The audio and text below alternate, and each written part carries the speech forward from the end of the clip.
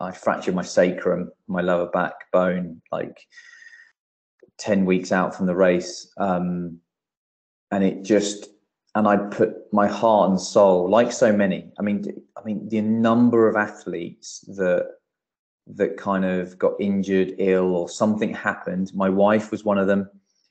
Um, yet the store, obviously, the, the main thing about 2012 that comes out of it uh, is Super Saturday with Greg, Janice, and Jess and Mo and um, and Robbie and all these successful stories, which is rightly so. Um, and then there's also this other side of the coin of the carnage that it left. And I don't want to say emotional scarring because it's it, it, it is in the short term while you're still trying to be an athlete, but that that does change over time. But for me, it was um, it was the best and worst days in my athletic career because I really believed and I really trained and I put everything in. And I, that, it's not a regret because it shows how I viewed the sport, but I really didn't get into the spirit of it for those two weeks. I mean, I was in the, I was, I was a dead, I was kind of dead inside. I was just numb going through the process um, of it because I knew I knew I wasn't going to get anywhere near what I was capable of. Um, and it was it was not it, it, it I, there were so many things I did that I look back on and I can just and it's cool. I think, oh, it's cool that I did it, but I know I did it with no emotion. Mm. And that sounds so sad and that sounds horrible. Uh, but that's the truth. Um, and I mean, I I, I, I traveled in with Mo and I, you know, there's some of the fonder memories are, are, just seeing the circus that surrounded him going in. You know, landing in landing in London Airport and just the fanfare of media that wanted to see him, and I I could just walk through, and he couldn't move, and we're driving on the way to the um, the uh, the village, and people were literally hanging out the car trying to see him and take pictures of him, and you had Jess Ennis on the runway as we're landing and her image on there. And there were so many things about it that I think, especially with Jess and Mo, because they were pinned as medaling, how they cope with that, how they dealt with that, I think is incredible. There's one thing to medal at an Olympics.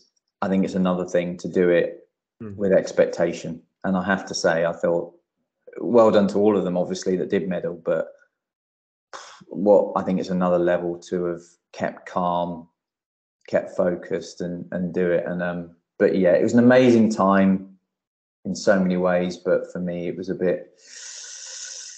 Yeah, it was it was difficult, and there'll always be this what if for mm. me. Um, not of what if I could have beaten Mo and won, but in terms of I do wonder how close could I have got. I think it's more the how close. You know, could I have with a a lap to go, could I have just been waving at the camera and sort of, I don't know. It's just so it's difficult. It's funny actually. And uh, uh, you'll have to edit this bit out, but that's on the wall up there. What is that? Oh, I see. I see. Are you are you at pace? Are you at pace management officer? I'm, pace, I'm pace. Yeah, I'm in pace officer. I've got on the other side. You've got uh, the big. I know this room. And uh, that's um. You saying? Have you been in here?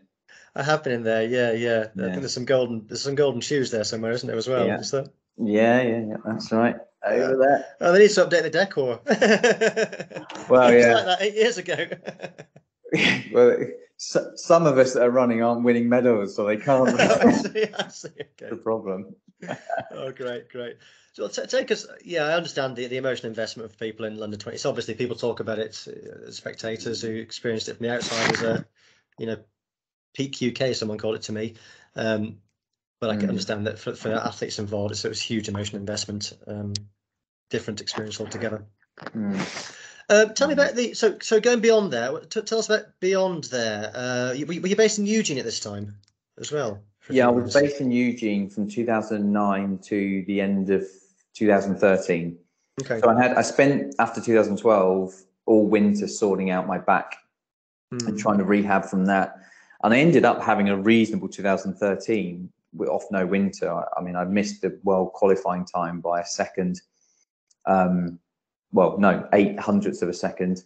Um, and that's when uh, it was a shame. That's when um, I think after 2012, this is the thing that again, uh, it's going to sound a bit controversial, but I just like to state facts. But leading into 2012 and, and lottery funding coming in like in when it was late 90s, there was this real dream period of support and enthusiasm to help athletes.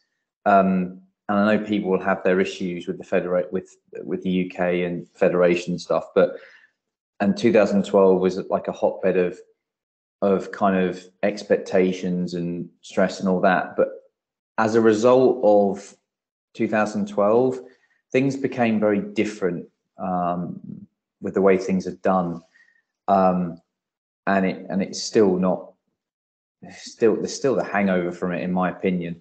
Um, and uh, in 2013, I ran I was eight tenths off the qualifying time and was told I'd be picked.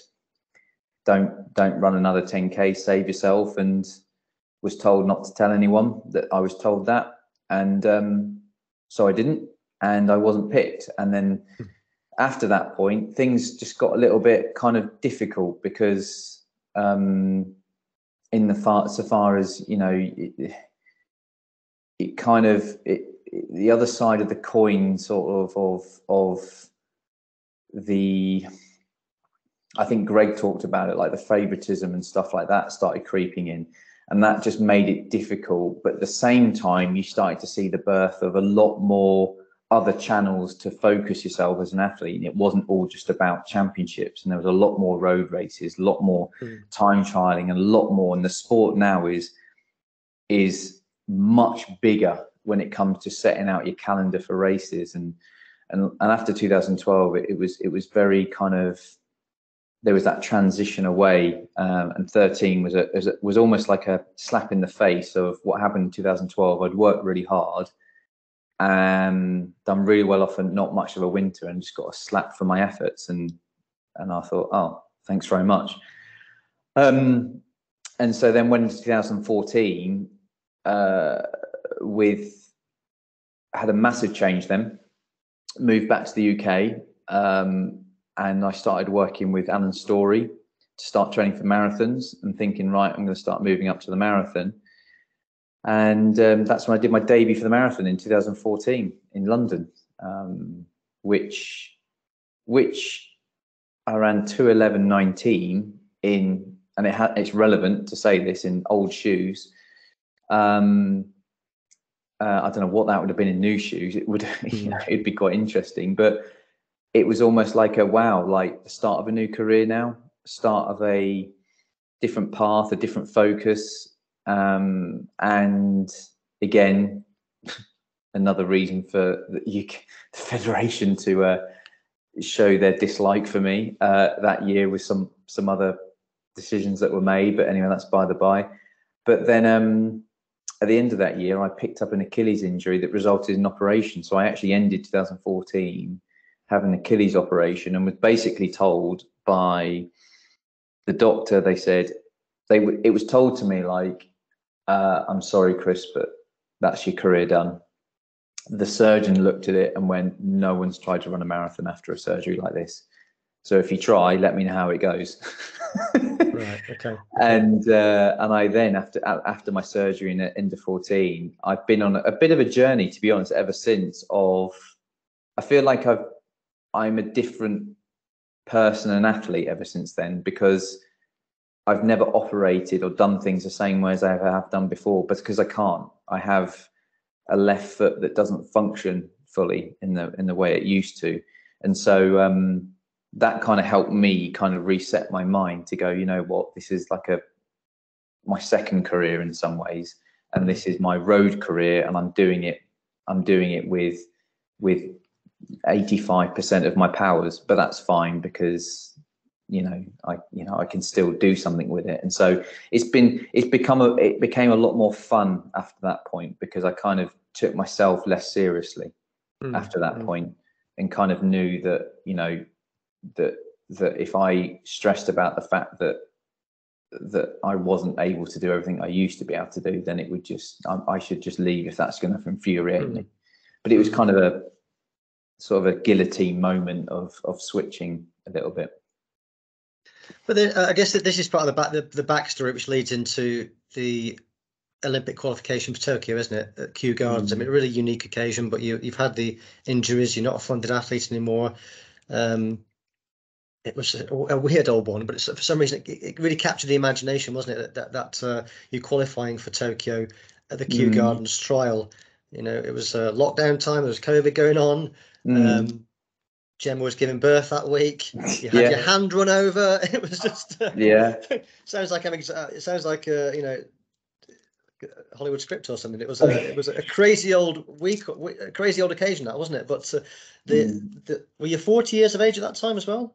At, the time of Kew, I was 39, and then 39. By the, so, by the time of the Olympics, I was 40. Yeah. So you know that was. Uh, how, how would you describe that that whole experience? Because it was. Uh, where do you rank it in terms of your achievements? I. I.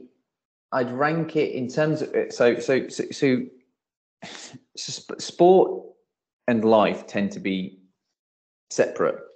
I mm. kind of my career in sport and my life things in life you know getting married is one thing and going to olympics is, is separate and and so when i think about my greatest sporting achievement my mind immediately goes to when i nailed it and i ran the fastest race i could or something like that mm. and so but with Kew, it was this the by far the best moment of my life because it was this blend of life and sport and the challenge and everything just colliding into this into this one moment because I was running as a dad as a new dad and anyone that becomes a parent for the first time five days after that happens you're still pinching yourself. You're still pinching yourself even when they're probably 18 i don't know but it's he's not quite that age yet but it, you're just in this weird mindset of wow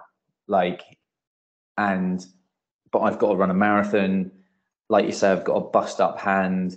I've trained hard for this. Like and I was in good shape but I've got to do it because I'm exhausted there was just it it honestly felt like the reason it was so amazing is because I honestly deep down if I'm honest didn't think it was possible I thought I felt like did I physically feel like I could do it? Yeah. Did I feel like I was in that kind of shape? Yeah.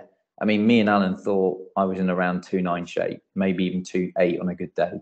So the fitness was there, but because of the way the week was panning out with everything, the way all these other things have been going on in my life, it just felt like it was just going to be a step too far emotionally for me to pull it off.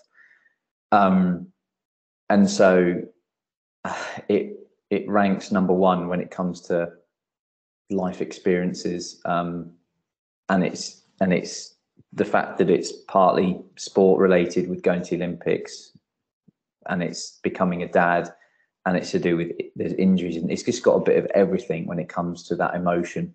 Whereas every other moment in my life, it's it's you know winning the European medal. That's all about the running.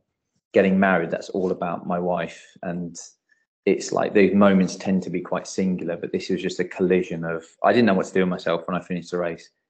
All I could think about, I want to go see my boy, but I'm going to the Olympics, and I, I just I didn't know what to do with myself. I remember taking myself off for a moment and just going, I, I, I don't I don't know what just happened there. How how just in complete disbelief, and I've never had that emotion before. You know, crossing the line when I won my silver medal Europeans, it was like this. There was a lot of relief in there. There's a lot of happiness, but I've never had that feeling of how I don't.